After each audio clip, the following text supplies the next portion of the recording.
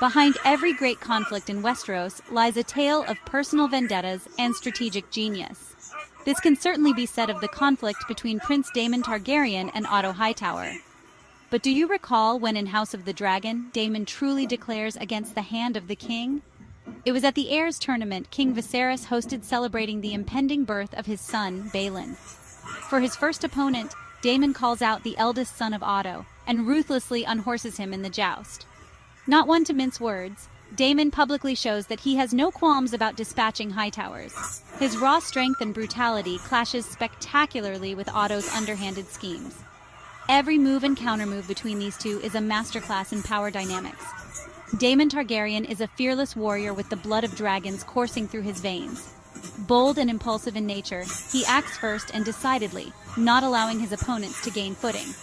Daemon recognizes Otto's devious ploys for what they are, dastardly attempts to place his bloodline on the throne. He knows that Otto isn't serving at the pleasure of the king so much as he serves himself and the agenda of his house.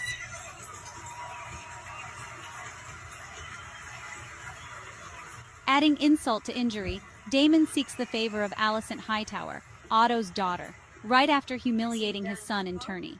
This is his way after all, direct, unflinching, and unapologetic. Having your favor whether you're rooting for the daring dragon rider or the self-serving statesman, one thing is clear. The rivalry between these two is personal as much as it is political. Way before the Dance of the Dragons, Daemon declares against Otto. Shots fired,